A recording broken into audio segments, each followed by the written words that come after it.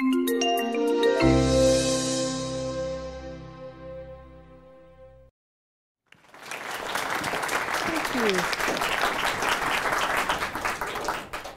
delighted to be here today and thank you so much for coming. It's a great audience and I hope I'll introduce you to a subject that I've been interested in for, for most of my adult life um, and have tried to distill into this little book. Um, it's, I've got a co-author who was actually a student of mine, uh, Katie Van, Van Doorn, who works in the US and so we tried to make sure that the book wasn't just a UK-based book. She's brought in some ideas, particularly, and she's also Dutch, so we've got the European and the US perspective. Um, I'll, I'll, so she's, she's, uh, she works in the, in, the, in the US at the moment.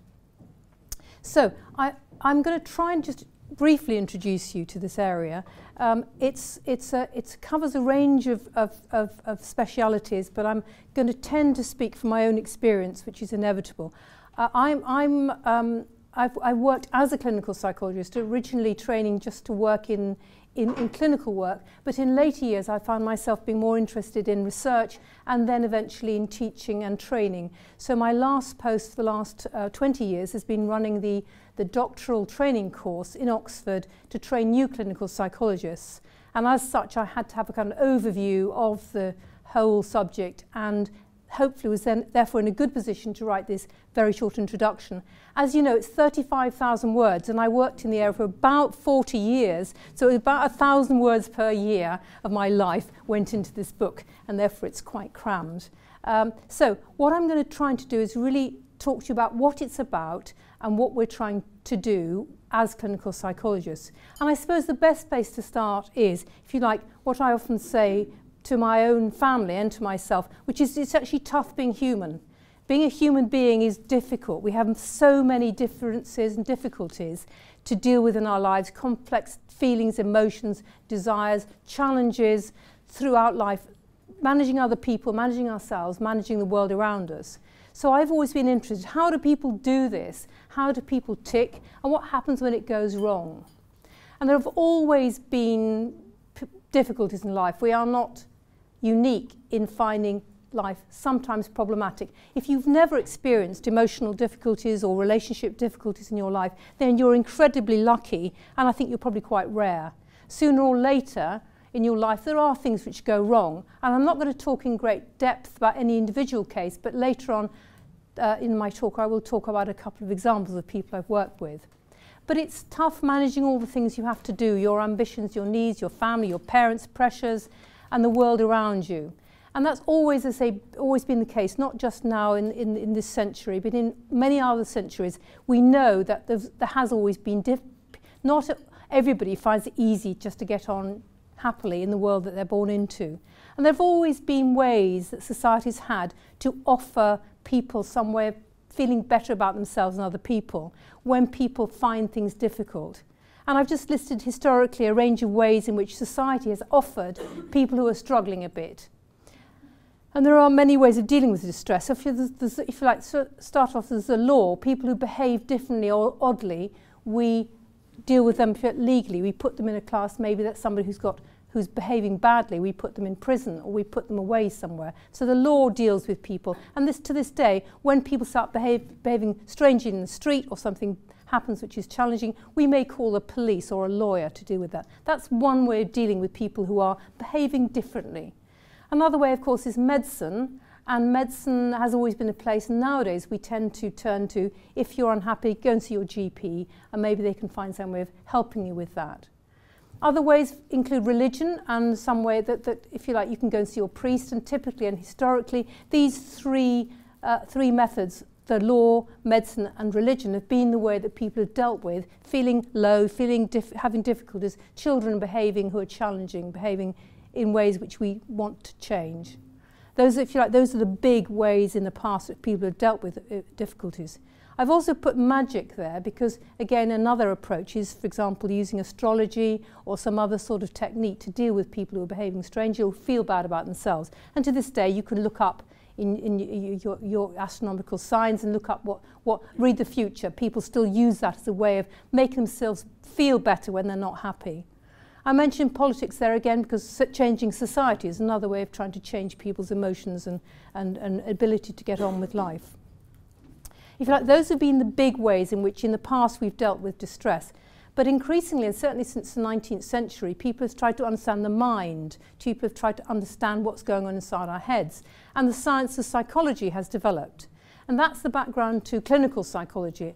And I will just briefly mention what that is. Uh, any of you, um, psychology is now the most uh, in-demand undergraduate course in the UK to do your to do your degree in, and it's the most competitive, one of the most competitive degrees to do. And it's a, psych, it's a study of human experience and behaviour. And very quickly, I've run through some of the things that happens within psychology. In order to become a clinical psychologist, you study this first. And the kind of things we study is how is it we learn things, how, we, how memory works, and importantly, how we forget things. That's a very important part of the system. What stress does to us, and how we are different from other species, how hormones operate on us, and how, for example, drugs and alcohol work on the body and the mind. Why do we sleep? Why don't we sleep? Um, and what it is, how the perceptual system works, how the brain sees, feels, and how emotions work perception, how perception works, how we are, how we recognize people and how we attend to other people or to anything else, and how we make judgments. So the whole way in which the brain works is the subject of psychology. And as a science, it's really quite recent, it's maybe two, 200 years or so, but the most progress has been made within the last 50 years. Other things psychology does is why we have emotions, why we feel, and particularly child development, how children learn, how, to, how they learn social behaviour and language, and how people attach to one another and how important relationships are. How children separate when they eventually do, what that process is and why, how important it is, and what the effects of aging are, how we get along, how we behave differently socially with other people, and how groups differ from one another, and why we get on with other, how we get along with authority. Those are just a sample of what you study in psychology. So that, as any of you might have done a psychology degree, this will be familiar to you, and this is the equivalent, as in medicine, of studying genetics, physiology, anatomy. So if you want to be a clinical psychologist, you do all this first, so you have a notion of how the human mind works and how people behave. So that's our bread and butter. So that, if you like, is the degree that I originally studied. But I was most interested in what when it all goes wrong, when people are unhappy, and what happens during the periods of life when most of us have some challenges. What can we learn in the same way as when you do anatomy and physiology and genetics, if you're a doctor, if you understand that, well, what is it when it doesn't work? So clinical psychology, which is, I say, my interest, is the application of psychology in clinical settings where people have emotional or psychological difficulties. And these include hospitals, in particular mental health, and, but also child health, and also, or clinics, wherever people present with psychological distress. So clinical psychologists work in a variety of different places. My early um, years in, in the 1970s, 80s was working in psychiatric hospitals, but people also work in general hospitals. So it works across the lifespan from infants, so how people may have difficulties in early relationship attachments and things like adoption and some of the kind of difficulties that can, children can experience and the relationships between early between parents and, and babies through to the very old and the process of letting go of life at the end of life. Now, we, as clinical psychologists, you work very closely with medicine and I mentioned the training to become a doctor. One of the things you can do, I mean, I, I, if you know all this, forgive me if I'm telling you stuff you know, but just in case. Um, one of the specialties within medicine, when you've done your basic training, you can choose to do is psychiatry. Now, psychiatry is different from clinical psychology in that to be a psychiatrist, which in fact our daughter is, you have to do medicine first. So she's done the whole business of anatomy, physiology, and all that stuff, which I didn't do. So she's very familiar with, and psychiatrists know about how the body works. And their treatment of mental health problems tends to be oriented towards the physical. So, for example, the treatment psychiatrists tend to give, if you say so if you're suffering from depression or stress and you go see a psychiatrist, they will tend to, first of all, they'll do a very thorough physical examination and they will may well give you some medical treatments, for example, antidepressants or um, some other sort of physical treatment for your condition. Now, I'm not qualified to do that. I'm not a doctor. I wouldn't do that. But I work very closely with doctors so that we will see people where perhaps medical treatment isn't appropriate or it's not thought to be helpful in this case, where we, we have a close relationship, we cross-refer to one another. but we have a different treatment. Our treatment is psychological, not physical, though I'm very aware, of course, we have bodies and therefore hormones and things are important. And, and, and drugs do have an impact. Indeed, there's nothing wrong with, with psychiatric treatments like, like antidepressants. They can be used very much with psychological treatments. So we work together.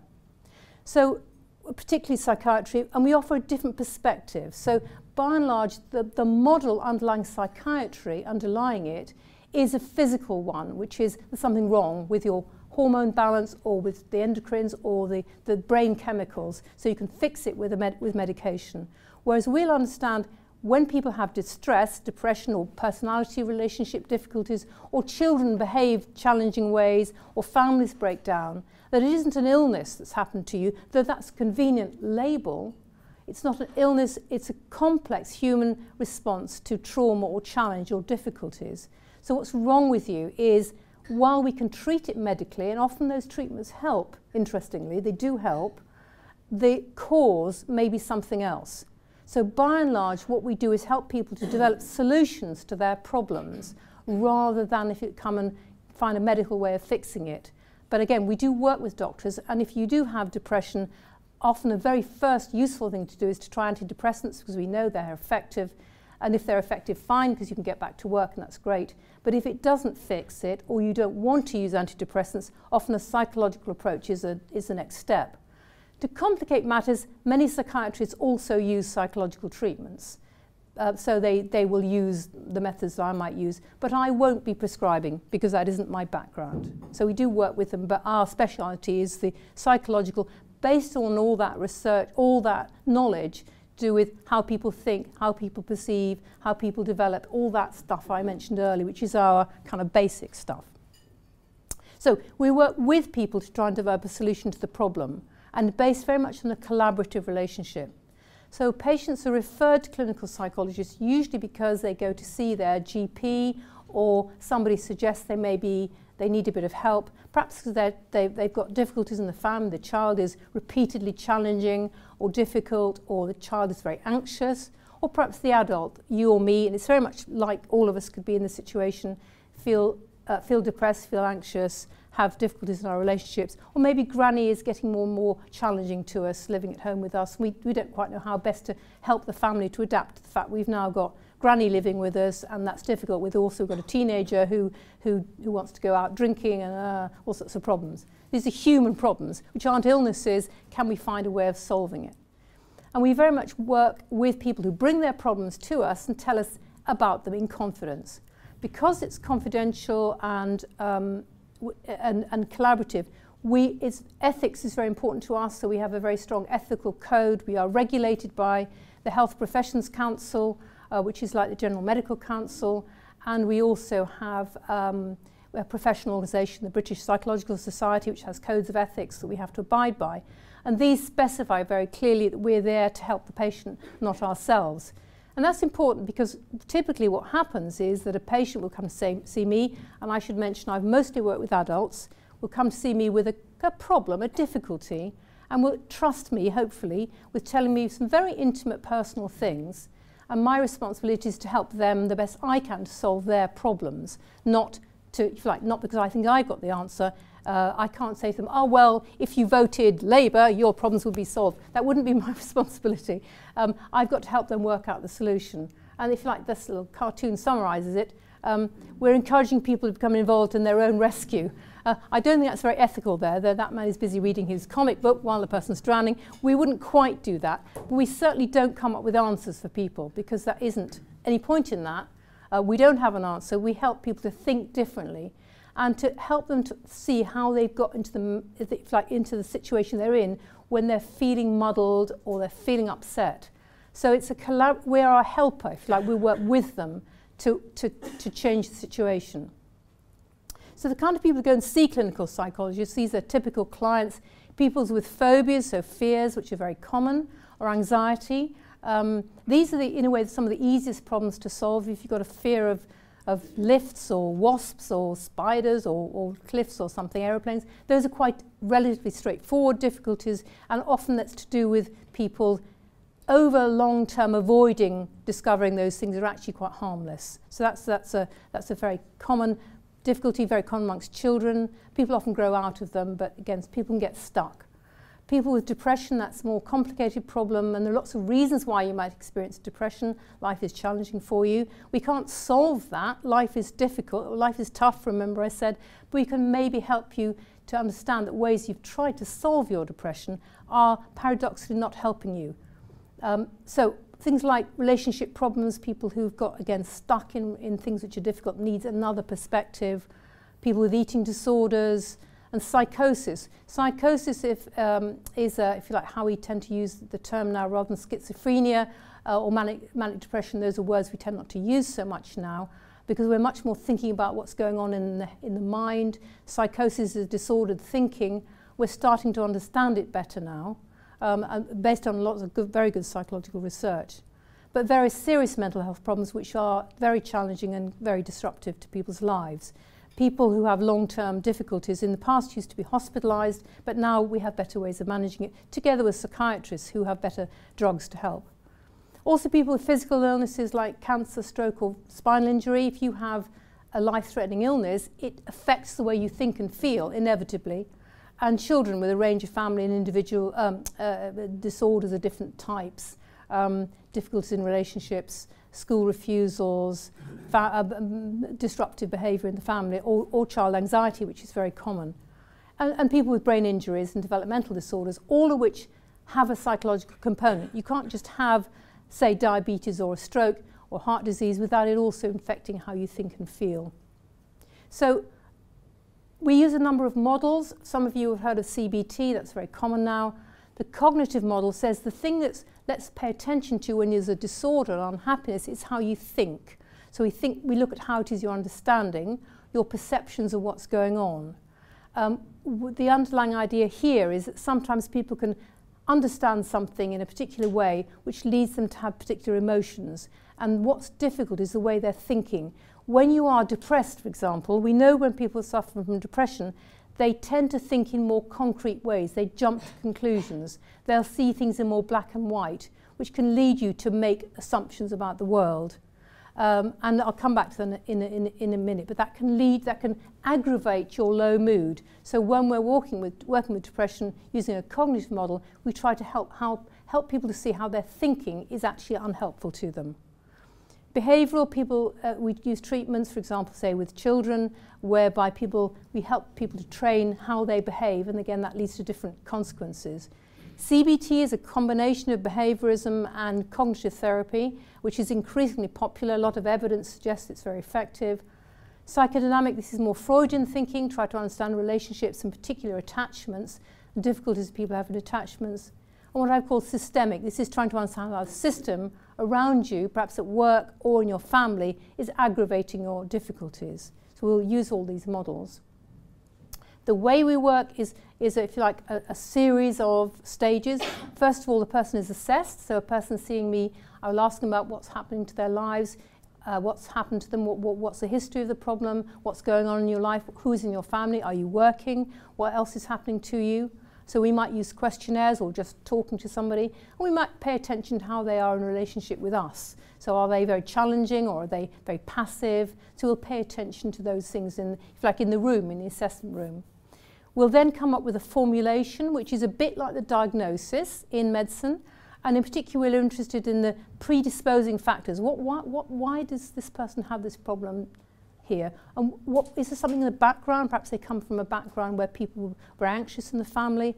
What precipitated it? What happened last week or a month ago that led to it happening now? And what is the presenting problem? What's going on? Why is it staying there? Why is it, why is it perpetuated? Why haven't people, people don't want to be sick or ill or unhappy. Why is it going on? What's, what's going on? Why is it perpetuating? And if you like, what is going on which is protecting them in their lives? Everybody has some good things. So have they got good relationships? Have they got a good job? Have they got something somewhere which is also helping them to manage? So we need to know all of that.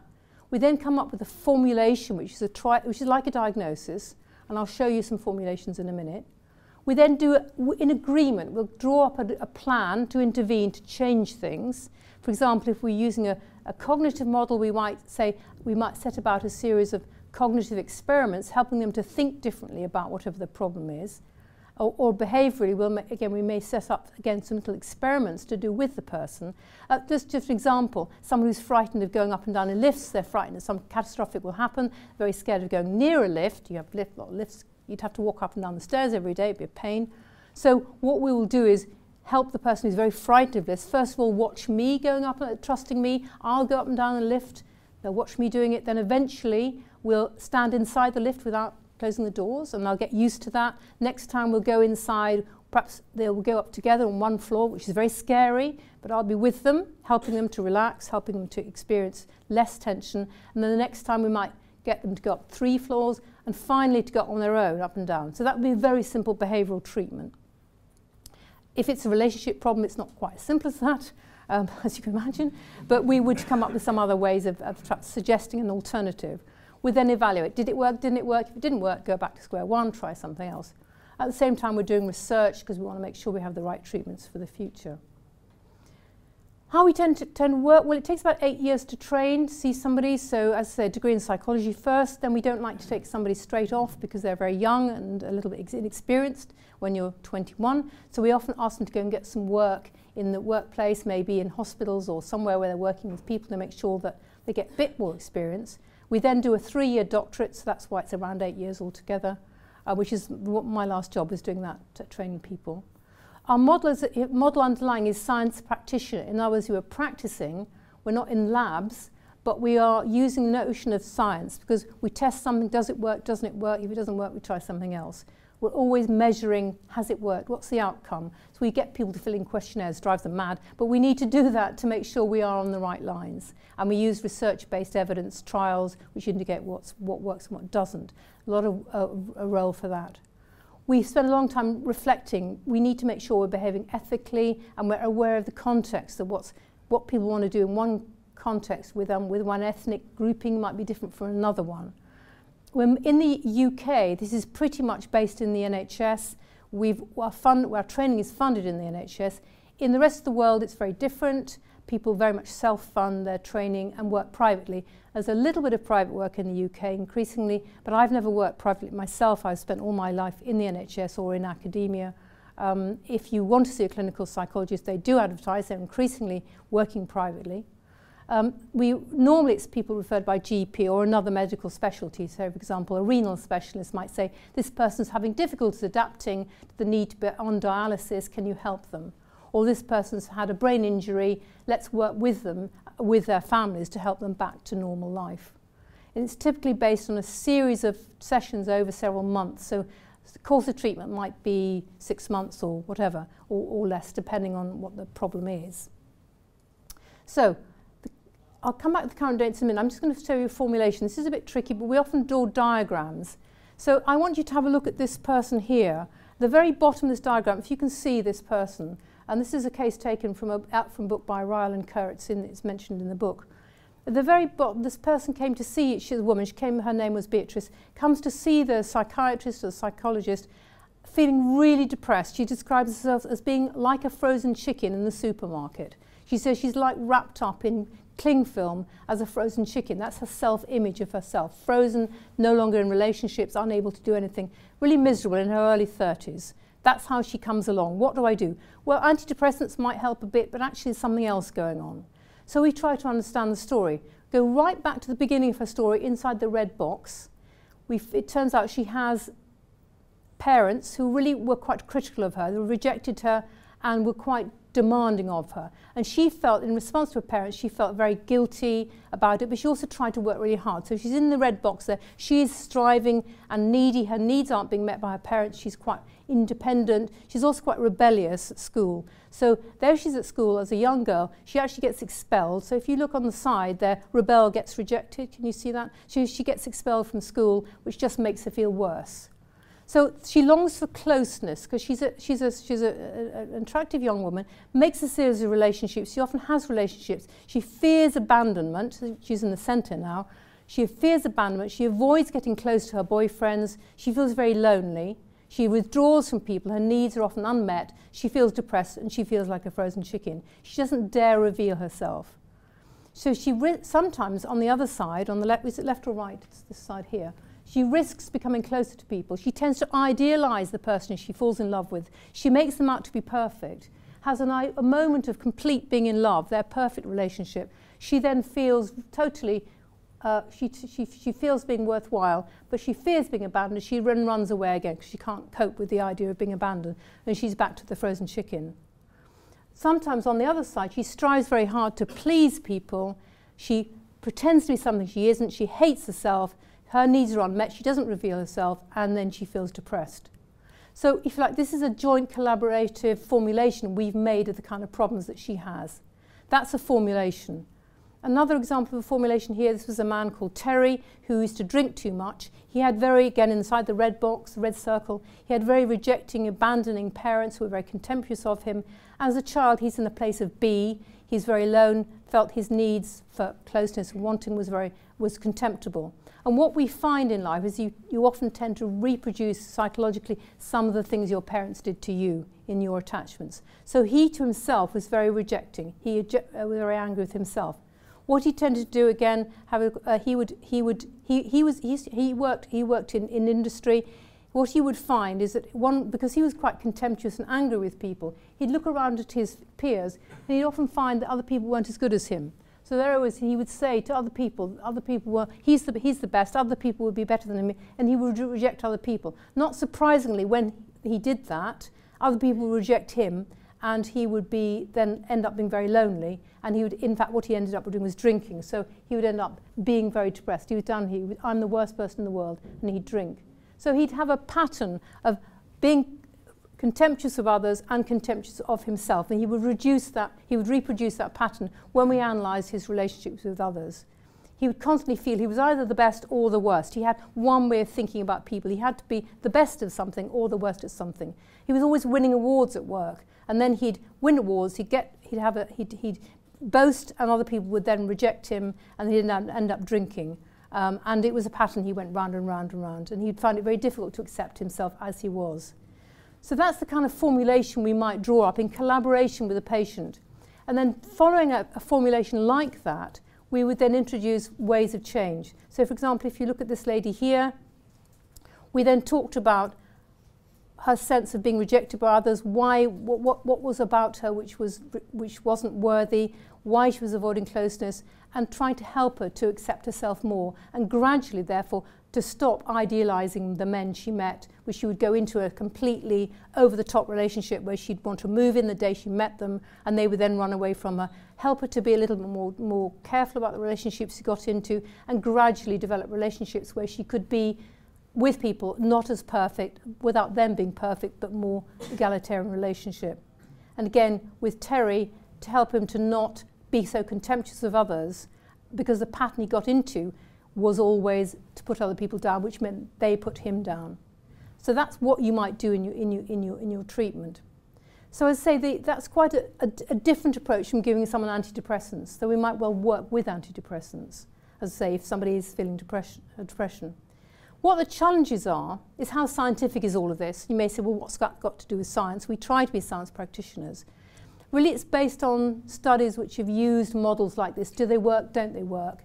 And so a lot of evidence that CBT is effective, as, as I've mentioned. Uh, and so there's a lot of, of, of work done. What are, the, what, are the, what are the studies? What we, does this treatment work? Doesn't it work? With which patients does it work? And one of the problems we have in psychiatry and in psychology is that actually humans are terribly varied. Everybody in this room has a different story. Doing psychological research is complicated because you all have different experiences whereas probably most of your kidneys or livers work kind of the same, one would imagine, um, but your histories, your psychology is going to be so different. And we've tended to give one treatment to everybody. And what the research demands is that we have more and more nuanced treatments for different people. You wouldn't want the same treatment as the person next to you because your life story is different. And that's why often we don't get it right because it's very difficult to get it right. Um, laws and medicine, if like, I like to say that they're difficult subjects, are probably simpler because people are not so different. I mean, there are many ways in which you can be physically ill and break the law and, do, uh, and, and have legal complications. But if you like, the numbers of ways in which people relate to each other is so infinitely complicated, it's difficult. And we do our best to be scientific, but we don't always get it right. Uh, therefore, we do spend a lot of time thinking about it, and sometimes we get over reflective and we spend our time thinking, and maybe that's not always helpful. There are not so many of us because it's very expensive to train somebody to, to, to, to become a clinical psychologist, several hundreds of thousands. And so the, you know, the NHS can't afford that many. And we tend to be, you know, with a relatively few of us. So I, I don't know how many of you ever, actually just out of interest, how many of you have heard of clinical psychologists as a profession? Ah, you've heard of us, great. But, I, I, but, but, but probably not many. How many of you actually know clinical psychologists personally? About four or five of you, okay. And that's, that's great that you do. Um, there are not many of us. There are many, many more psychiatrists. Psychiatrists are much more numerous than us. And of course, many, many, many, many more doctors. Um, there are many no, more, most mental health care, certainly in the UK, is provided through the NHS. It's provided by nurses and doctors. We're very small in number. And so how can we have, these models are very interesting, um, but it's hard to, to actually see somebody. The chances of seeing a, a clinical psychologist are really quite small because there are so few of us. Um, and one of the other things is, that we know very well that, that the things that often precipitate the background to mental health problems in particular are things like poverty and, um, and, and, and, and exclusion. So we know that mental health problems are much more dominant within groups that have poor resources. Um, and if you like, if you want to improve the mental health of the nation, as a whole, you might want to pay more attention to things like education and, and, and employment, unemployment, and so on, uh, and inequalities. Um, and we are looking we are looking at the individual victims, if you like. We get the people who have been damaged by some of those things. Um, and maybe a better thing would be to change society as a whole, because those are the things that lead to some of the mental health problems that there are, um, we're, we're fixing the individuals. I, I appreciate you have to do both, but often there's a tension between should we treat the people or should we try and change the system, which leads to people having these problems. We could talk more about that. And so, and one of the other things is, could we make, you know, you make much more better use of individual and information technology. The treatments, particularly CBT treatments that, that um, are, are increasingly used, they're open to being used with technology. For example, some of the individual treatments, rather than coming to see me to do a, a, a desensitization, which is a treatment for your fear of lifts or something, could you do that online?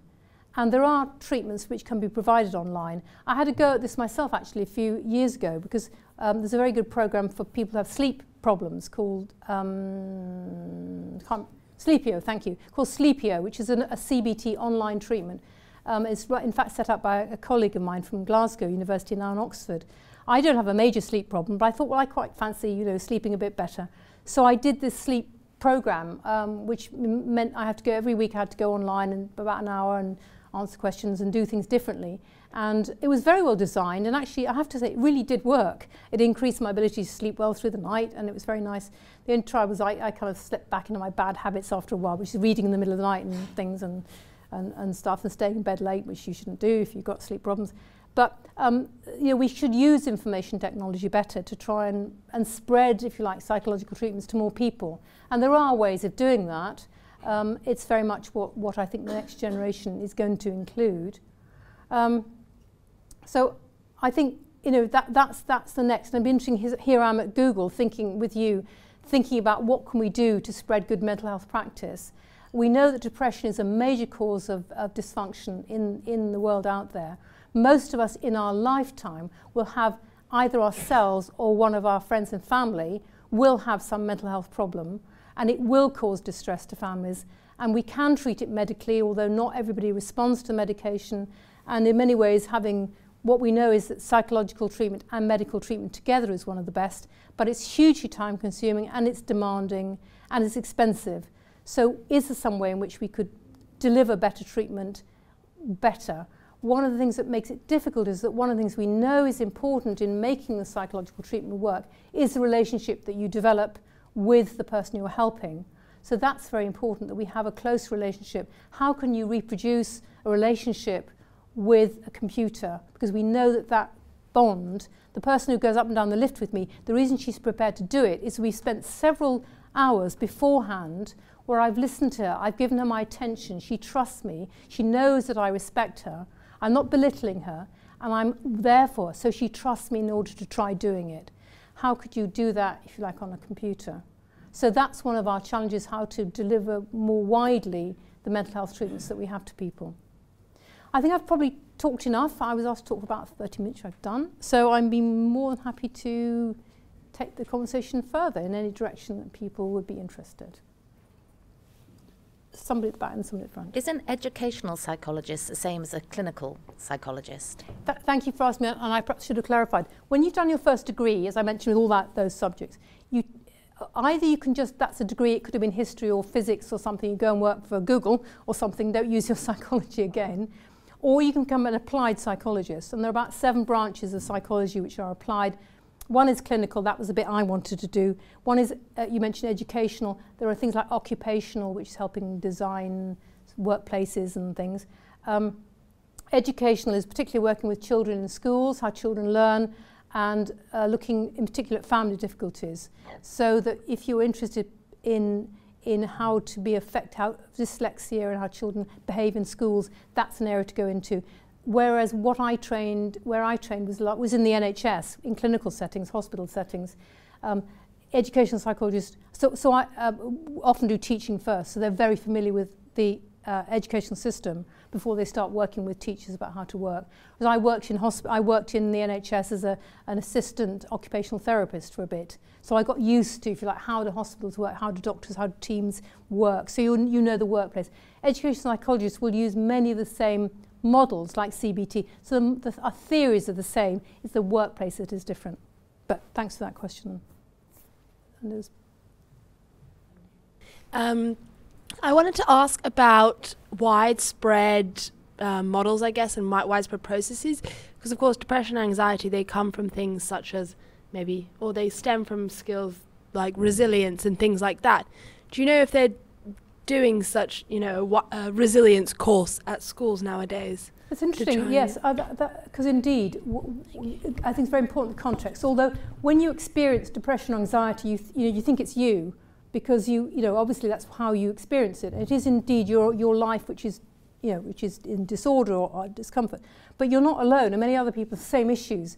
And things like stress and the demands of commuting and the demands of managing workplace and the family and all that stuff as uh, all this adds and you yes the context is important so could we do something about that context to reduce some of that stuff and because the, the real world in which we are all competing and there is demands is difficult to change all of that unless we all go and give up and live in the countryside.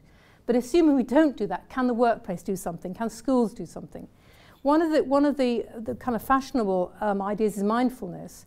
What mindfulness is a way, people have heard of that, is a way of trying to help you to get away from particular critical thoughts. And the, the underlying model of why mindfulness works, and they are teaching this in schools now, and maybe in workplaces. It's like relaxation. It's helping you to get off the, tra- the treadmill. So if you look at the, um, if you like, uh, this, this poor person here, she's in a treadmill because people don't want to be unhappy. We sometimes say, oh, she, she's her own worst enemy. She makes it, she wants to, she doesn't want to get better. It's not that you don't want to get better. You don't know how to change. So it's, and change is very scary because if you always do, if you always walk in the same way, someone asks you to walk differently, how do you do that? It's really hard, and we shouldn't underestimate that. So, what, what mindfulness and these trainings try to do is to help you to get off the treadmill that you're on and think or think about it differently. So, yes, there is an attempt to do that, and then that is going to be a better way of solving problems. But it's such a huge thing, and it's what we know is that mindfulness does work to a degree, but then again, it's not good enough yet. We still don't have a panacea.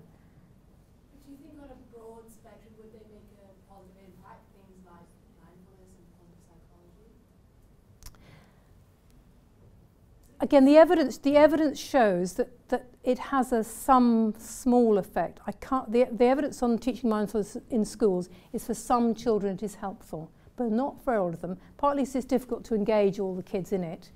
Um, so yes, the evidence is that it, and again, using, trying to be scientist about it, it works for some people some of the time. And we're, we're on the case, but there isn't a solution to everything yet because it's, cause it's complex. So I know that's, that's not a good story to tell. I'd love to say yes, but it's not, we don't know yet. Somebody here had something.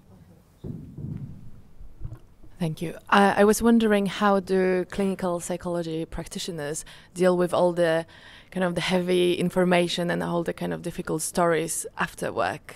Hmm. How they decompress? Yeah, how do you deal with it? I think that's very interesting, and increasingly we're, we're getting a bit better at that than we were. Um, I, mentioned one of our skills was being reflective. How reflective should we be?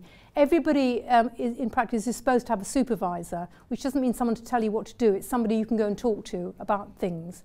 Um, and I, I, it is, in, in a sense, it's like, like being a doctor. You, you kind of get used to it. I mean, I, I, I have to say that that uh, over my life, I think I've become a bit inured to stories that people tell me, and sometimes I think I'm getting hard-hearted because there isn't too much horrible stuff that I've not heard.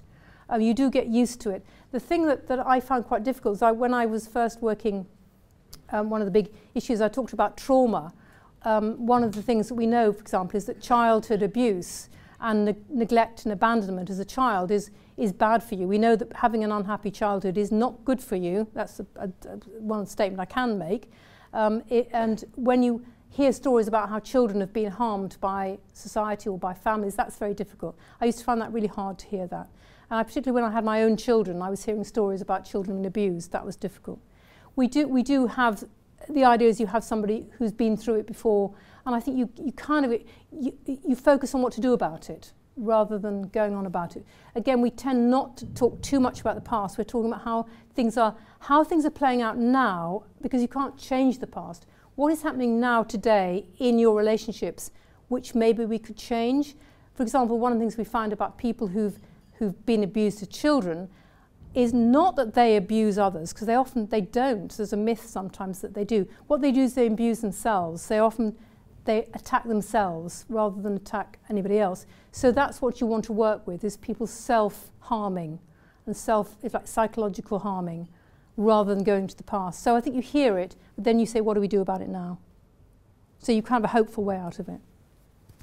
There's various hands so, um, what do you think uh, the biggest differences between approaches to clinical psychology um, in the U.S. and the U.K. are? That's interesting because uh, my colleagues, uh, you know, who work in the UK, and I did spend um, a couple of months in in in the in University of Florida and looking at the, uh, the health system there. I'm not that experienced, but you know, but what I understand. One of the big differences is because we're NHS based, clinical psychology, by and large, we, we tend to have shorter treatments because of the cost of treatment. And we, so we, we're very much evidence based what is it that works in the shortest time. So there's more pressure to do things more quickly. Tends to be therefore CBT is the model of choice, whereas in the US there's more psychodynamic therapies, which is more Freudian based or relationship based, which take a bit longer.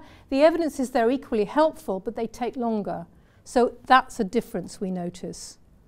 That's the most obvious difference. There's somebody, lots of hands. Good, I like this. Um, would you expect in years to come that there will be lots of things in your red box associated with social media and social media pressures, particularly on adolescents? Yeah, that's very interesting because I think uh, what, what, what you are, one is humans are enormously influenced by people around them. And, and the, your close relationships, your parents, your friends are very important to you. Especially for adolescents, they, there's a huge, when you're the process of separation from parents, we are, as humans, we need attachments to others. Separation process from your parents means you start to attach, particularly in the teen years, to your peer group. And if your peer group is a perfect peer group, on social media who all look fantastic and go to parties all the time and have a great time, but you're not. That teaches you you're not a very worthwhile person. So I think, yes, I do see that's a problem, and particularly for adolescents, we know that mental health of young people today is getting worse. And, and I suspect, but I don't know well enough what the evidence is. I have a social psychologist who come, we, what, do you know what the evidence is on social media? Sorry. Um, by and large, um, well, it's, uh, it's, it's your uh, for some people. For some people, social media is clearly bad, um, and it's a, a mixture of two things. One is we always make social comparisons, but normally, if you like, that's within a group of 25, 30 people. Uh, suddenly, you've got 700,000 to make your comparisons with, and guess what, you come out badly. Um, and the other thing is that people behave worse to each other when they're not face to face. It's anonymity. Um, uh, people do much nastier things to each Mm. other over social media than they would face to face. So those two factors make it a very dangerous place to be, even though it's got lots of positives. Mm. Um, So- it can go badly wrong. I think going back to the programs, it's teaching people how to use social media. Because I'm certainly when I, I'm, I, I don't use Facebook, whenever I see anything, I think, oh God, these people are all having much more fun than I'm having. But of course, it's all myth and story. I know that. But it's hard when you're when you're young. How do you know that for sure? So yes, I think that's one of the boxes you would put in there, which is that the world around you is much more likely to be uh, a, a, less comfortable place to be when you're just a little you with all your little problems. So I think that's that's certainly true. And I think that that that helping people to ways of dealing with that and understanding that of course you put you spend hours making the perfect selfie. Most of us don't look like that most of the time. So yes, I'm sure that's true. Uh, you've mentioned uh, the relationship between the therapist and therapy. Uh, how do you deal with uh, people that kind of get addicted to your to the relationship, Mm. relying more on the therapy than solving their problems on their own? Yes, it's a very interesting issue because one of the things you're doing when you a patient comes and tells the th- client, whichever word you're using, we, we use both, comes to see you and tells you, your, you they feel like their difficulties. Um, prof- my professional job is to listen to the person, give them my full attention, and understand them. So I'm giving them a lot of sort of cues that I'm there for them.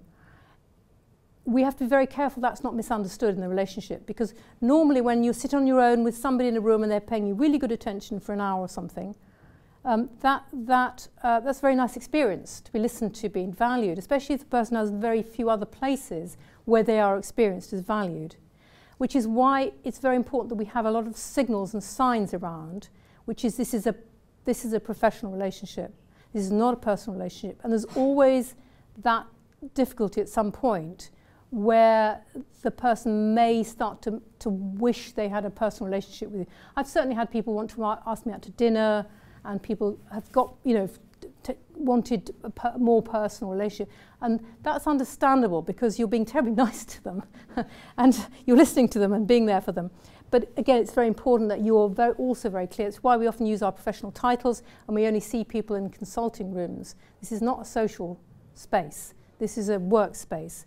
And all the time you're helping them to understand that this is a, this is a, a way of talking about your problems. This isn't solving your problems. The pro- problems are out there. And we're going to help you get back out there again. This is limited. And we also often talk about time limits. So we'll say, I'm going to see you for six sessions. And we may, in some models, we actually say, well, you know, we count down the sessions so they know it's going to come to an end. But it's a very good, and going back to the, to the, question about the USA, where you work in a more psychodynamic model, Freudian model, that model, where you have a longer term relationship, that can be more problematic. And it's part of our training to, to handle that. And it's understandable why people can get dependent, because, you know, that happens. And the other thing is some, some of, some, many training also require you to have experience of therapy. So you, as a therapist, can go and part of your training is to be a patient. And you then discover how easy it is to idealize the person or to start rehearsing what you tell them and tell them a partly true story and not a whole true story because you're worried about that one, you know. So it's that, that's a good way of handling it. Um, the clinical body NICE have to make really difficult decisions Mm, about Mm. how they allocate resources. Uh, you know, we can't afford this particular medicine for this group of people. Given there are so few of you, I was just interested to know how how is it triaged in terms of who's Yeah. who's going to get treatment. Yes, this is National Body of Cl- uh, Standard for Clinical Excellence, National Institute of Clinical Excellence, um, which will provide, a, is that the right acronym, isn't it, NICE? Oh, yeah. And they, they, they provide guidance on what treatments. They do recommend psychological treatments um, for a number of different uh, uh, uh co uh, uh, conditions um, based on evidence, and again, quite rightly based on evidence. If I have treatment, I want to know that it's, it is the right treatment for my particular condition. They, they do recommend it. And for example, one of the things we know in psychosis, I mentioned psychosis, when people have major mental health problems, hallucinations and delusions, that the evidence shows that if you provide treatment um, for the individual as early as possible, the first episode of psychosis, which normally happens uh, in, the, in the late teens, early 20s, slightly different from men and women. it's a devastate can be a devastating life course if you if it fully develops. If you can get it really early and get early treatment in you can prevent the condition from developing. You can help person psychologically and medically if a team gets in then early. So if if that's a really good news story is that we don't have long-term patients. If you can get them quick you can divert the psychosis you can prevent it. Um, and it's, it's really late, late teens-ish, often connected with, well, sometimes connected with cannabis use, not always. And there are now sources of ev um, evidence that, that show, uh, greatly evidence that one of the components is family treatment, where you work with the family to understand how to deal with a young person. They're often still living at home. Uh, that, and that is what the nice, what the evidence shows we should do. But there aren't enough people. So a lot of people don't get the right treatment. So sadly, there are people out there not getting what we know nice as they should get because there just aren't enough people. But is it self-defeating in the sense that if they invested up front, you wouldn't have the cost associated yeah, with the sure. that family breakdown, relationship yes, breakdown, absolutely. crime, the drugs, the alcohol, Absolutely, absolutely. All those things are true. But it's expensive, and it's a question of how we want to spend our money. I mean, one of the problems, in, I mean, I have to say that the last few successive governments have tried, and you'll hear on the news saying the, this notion of the concept is called parity of esteem, that we esteem our mental health as much as our physical health. But it is not the case. If you have, if you, if you sadly diagnosed with some kidney disease or cancer or something, um, you will get seen pretty quickly and be seen by the best experts in your area, hopefully. If you have a mental health problem like psychosis, you don't know whether you're going to get treatment because we don't invest as much in mental as physical health. Um, that's always been the way because we stigmatize mental health. We think there's something wrong with you, you're to blame. Somehow you brought on yourself if you have a mental health problem. And it goes quite deep rooted that we use the word, I use it in casual speech. Oh, it's psychological, I'll say. If I've got a stomach ache, oh, it's psychological. In other words, it's not real, because it doesn't mean that at all. Because what is psychological is absolutely real, and we are, we are, we are physical and mental beings. We're all together. We all, you know, you can't have a mental health problem without a physical health problem and vice versa. But over history, we've tended to put one in box and one in the other, and one's good and one's bad. So mental health hasn't had the investments and this serious treatment. I think that's changing. I say that is changing. There is more importance now placed on that. And certainly going back to the question about the UK, US, I don't know if he's still here, the gentleman asked. Oh, he is. Is that we've been much more um, nervous to talk about mental health in the UK um, I think it's changing now, especially with, with CBT coming more, having people more access to it. To say you're having therapy is now reasonable and people will talk about that. It used to be anathema. For example, in our training, when we train people, I remember my, my father saying to me when I was thinking about training, oh, oh that's very interesting, but um, you know, it's, it's not, not uh, if you want to go into this, not working with very nice people and you'll be it's very important that you yourself don't have any mental health problems. Now we see it very differently from that. We see we as trainers and as students and as practitioners may well have mental health problems ourselves. Everybody has mental health problems. We're not different. We're trying to, in the same way as I might break my leg or have diabetes, doesn't make me a bad doctor. Likewise, I might be suffering from mental health problems as well. It's okay to do that. It's not I'm a bad person. So we're trying very much to change the attitudes, which are difficult. But you're absolutely right about that. We should spend more, but that's a political discussion which we can have elsewhere. Thank you. Um, you mentioned that CBT and online therapy is quite new. Um, is there any evidence at the moment whether it's more effective than that face-to-face -face therapy? Well, what's interesting, it, is, it seems to be, with, with certain groups, it's as effective, which is quite challenging to all of us who've been doing it for years. Um, but what was interesting is, uh, um, yes, it, so it is as effective, and that's a good thing to do, but it has to be set out right, and you have to get the relationship factors in there right. I mentioned I did the Sleepio program, which was, a, which was interesting to do. But what I found myself doing was I would I assumed that I was talking to this guy. You know, I would, I would think, well, what's he, what's he thinking about me now? Of course, it wasn't he wasn't thinking. It's a program. But what people do is they like there to be a person there. So I think when we design these things well, they can be helpful. One of the, one of the, one of the very, very important things to do is change how people think about it. And one of the good things about rolling out programs is it helps people to think, to normalise it more. Just quickly, one point I should make about the cognitive model I talked about, where you, you can think. One of, the, one of the most damaging things people can think about is how abnormal their thinking is. And if you can normalise it, may help people to know. What, what, when, one of the things we, we know about post-traumatic stress disorder, um, when you've had a, a traumatic e episode, when something happens, if a bomb drops on us and we, we, it's ghastly and traumatic, we will all have, but uh, assume when we hopefully we survive it, we will have flashbacks, we will have bad experiences. If you can understand that that's normal, that normal people always have bad experiences after a trauma, and gradually they fade over the days, the months, your traumatic experiences will fade, then you will get bet better. If you think you are odd and unusual and the sort of evidence shows that you are uniquely weak and mentally ill because you've had this trauma, this traumatic reaction, then you won't get better so quickly. One of the great things about rolling out large scale is perhaps people will understand that their reactions are actually normal. It's okay to feel trauma, it's okay to feel bad. And that's what rolling out larger scale programs will help people to see their mental health problems are not unique. You're not the only one to feel depressed, sad, angry, have relationship problems. It's normal, it's human. And that's, I think, what large scale programs, which hopefully organizations such as yourselves will be helpful to us in developing. Thank you very much. That's great. Thank you.